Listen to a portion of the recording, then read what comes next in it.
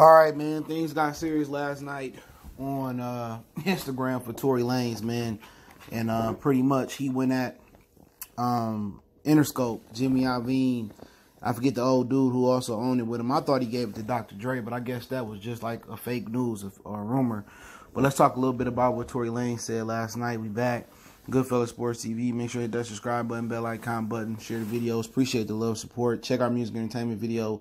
I'm in playlist for more videos like this. And uh, yeah, man, Tory Lanez, screenshot come up, basically said that he gonna expose Interscope um, for they, how they doing people wrong. And even Rich the Kid, the rapper, he chimed in and said that um, basically he supported what Tory Lanez was saying. I guess he an Interscope artist as well too. And uh, Interscope really got into rap uh, when they uh, pretty much uh, signed Dr. Dre in the Chronic album. And ever since then, you know, uh, they took off. Had a partnership with Death Row. Um, and then, you know, they've been into music for a long time. But he said, Interscope Records, y'all don't stop playing with me. I'm exposed what uh, what's really going on in the effing building, right?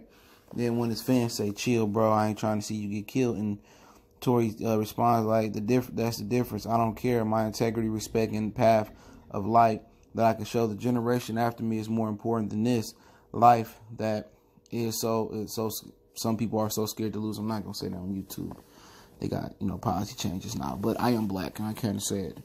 You know, but uh, but yeah, man, the record business a dirty game, man. A lot of these groupies and fans really be thinking that these rappers be out here rich. You know what I'm saying? And they and wealthy. They be out here broke. The majority of rappers get their money from brand deals and touring. You know, with the commercials, you see the Migos, the Mountain Dew commercials partnership they got with the pop with Popeyes. They probably make more money, you know, off of their brand deals and touring than they do record sales. I remember back in the day when, when Michael Jackson was fighting, I forget what record company was.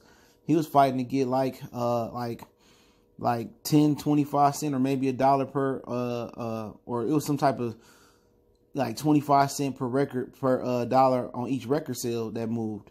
And back in the day they was giving artists pennies on the dollar. So if you every every if your album excuse me sold for ten dollars, uh out of each of those ten dollars you might get two cents. So you know what I'm saying? So you remember T.I. he had the little rap line and say uh, rappers out here getting pennies. If Grand Hustle sell uh, any, I'm gonna get plenty, and uh, that's true. You know what I'm saying? So that's what you gotta look at, man. And they saying that a lot of fans were making the uh, correlation with his Hot 97 interview where he was out there saying his chicks uh, tape two, whatever tape five, whatever it is.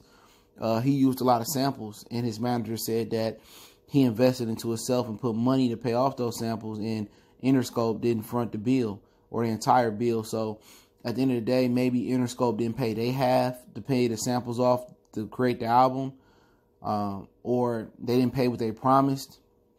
And now Tory Lane got to front the bill, and that's why he's getting so mad. But that's the record uh, business. You got to read between the fine lines. Most people get that deal, and they put a whole bunch of a bunch of uh, advance money in front of your face you take the advance money not knowing that you got to get you got to they got to recoup that advance money plus interest and now you got to hit the road and you got to get your money hitting the road and hopefully you get some brand deals but uh, that's why Gucci Mane and Young Dolph and a lot of them other rappers remain independent if you got a hustler bone hustler bones in your body and you got a business mind for it you're gonna make more money being ind- independent and you're gonna be able to drop when you want to drop I remember Schoolboy Q was complaining when he signed his major record deal that he couldn't drop mixtapes no more because the uh, label wouldn't allow him to drop mixtape when he wanted to. So that's one thing about being independent. It's hard, but really you don't need a major distribution no more.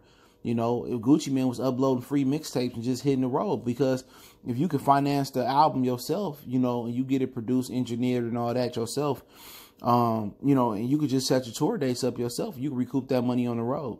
Getting to, start off getting twenty a show, and then thirty, and eventually, you know, the record label got to pay you what you what you want. But you know, a lot of people they can't really finance their way, or they don't have a business mind or a hustler spirit to do that. But you know, Tory Lanez trying to stand for something. Usually going to social media, nothing really good come from it. I guess he tried to call him and talk to him, and it didn't work out. But um, you know, hopefully the situation work out. You know what I'm saying? He seemed he seemed solid, dude. He be saying some real stuff, man. He had the situation where he got mad that that one rapper from Canada, Dax, dissed him. He dissed him better than everybody.